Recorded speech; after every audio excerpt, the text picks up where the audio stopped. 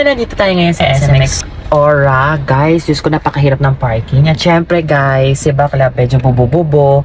Syempre nagpahanap tayo ng parking para kay ate. Napakabait ni ate guys. Kaya bigyan natin siya ng reward para tumaya siya. Kaya see you later, Maldita. Guys, ito si ate sa sobrang bait. Magpapalinis ako. Ate, wala akong papalinis eh. Pero may bibigay na lang ako sa'yo.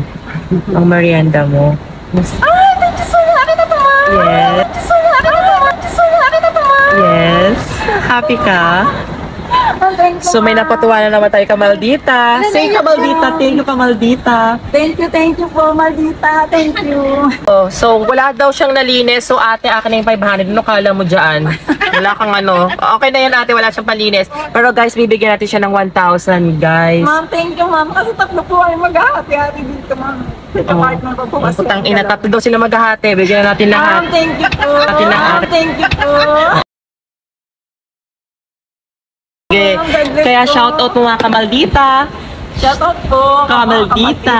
You, Salamat. Kaya kamaldita, may nap napasaya naman tayong tao. God bless you ate. Huwag ka nang mikat. Talaga, God bless. I love you. Baba mo na kami kasi yung pamangkin ko dyan. I love you, Kamaldita.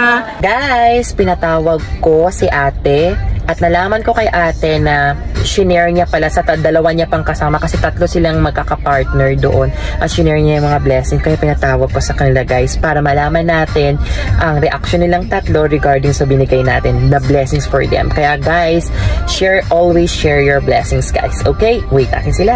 Si ate Che dito sa SM Aura guys pag nakita niyo siya guys please magpa-car wash naman kayo. At anong name ni kuya? Ah, dito kami. Anong name mo kuya? Francis, ma'am. Francis. Francis. Tell mo yung hair ka po para makita nila. Ito si Ate Che. Guys, please support them guys. And si kuya? Si Kuya Francis guys, sobrang bait nila guys. Tapos nag-accommodate sila. Nagka-car wash lang sila guys. Pero guys, nag-a-assist sila sa parking. Anong masasabi mo ate? Ah, nagpapasalamat po ako kay ma'am kasi talagang ang laking tulong po ng bigay niya sa amin. Sana po, ah, ma- marami pa siya matulungan dahil po isa po kami sa mga natulungan niya ngayon. Ngayong araw na to po dahil car wash po kami, naglinis po kami ng sasakyan. Sana po, kung makapunta po kayo dito, maraming maraming po salamat kay ma'am at, at inaan po niya na magpa-car wash din po kayo sa amin. Yes. Naiiyak si ate guys. Kaya guys, please support ate Che. Tsaka si, anong pangalan ng isa pa? Ah, si Mike ma'am. Si Mike? Michael. Si Michael. Tsaka ulit, sorry.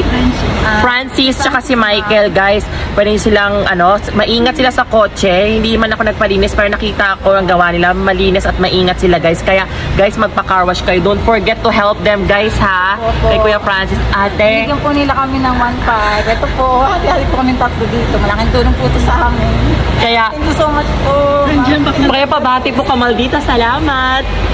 Kamaldita, salamat. po. Salamat po ng marami. God bless po sa inyo. Sana po. Thank you. Magpalain po kayo ng may kapal. Thank you po. Salamat po, salamat. Kaya guys, support them guys and sh- always share your blessings to them guys. Kahit na konti yan, kahit na sino, basta share your blessings. Okay, Kamaldita, see you soon. God bless us.